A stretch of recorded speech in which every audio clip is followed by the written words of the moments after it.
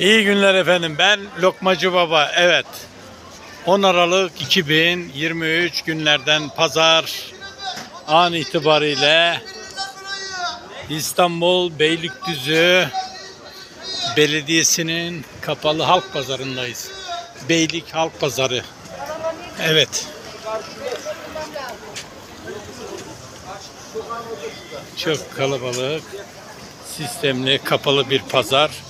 Tabii ki lokma aracımız servis alanında efendim.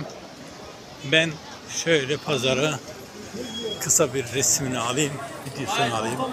Evet. Merhaba abi. Zerzavatçı abimiz. Hayırlı işler diliyoruz. Servis alanlar lokmamız var efendim. Evet. Çok büyük, kapalı bir alan. Evet. Uçsuz bucaksız gidiyor öyle kapalı. Evet.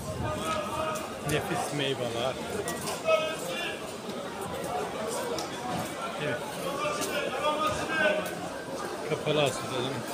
Kuru yemişçi abi hayırlı işler diliyorum abi. lokmacı Sağ ol, baba. var ol. Servis alanlar lokmamız efendim. Evet bugünkü lokma hayratı merhum Sinan Çiçek beyefendinin hayratı efendim. Eşi ve çocukları hayratta bulunacak. Tüm insanları pazardaki esnafa servis alanlar lokma yemeye bekliyoruz efendim. Evet. Lokmacı baba. Ha canım benim ha. Evet abi kolay gelsin hayırlı işler diliyoruz efendim. Bugün lokma hayratımız servis alanında bekleriz. Biraz sonra başlayacak abicim. Hayırlı işler. Hayırlı işler çok. Büyük bir halk pazar efendim. Evet İstanbul'a yakışır. Beylikdüzü Belediyesi'nin. Hacı ablacığım kolay gelsin. Hoş geldin. Evet. Bugünkü lokma hayratımız merhum Sinan Çiçek Beyefendi için eşi ve çocukları hayratta bulunuyor efendim. Evet servis alanına lokma aracımızı kurduk. Evet. Babacım hayırlı işler.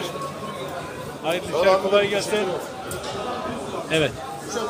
Çok geniş bir pazar efendim. Çok büyük bir pazar. Kapalı bir pazar. Evet.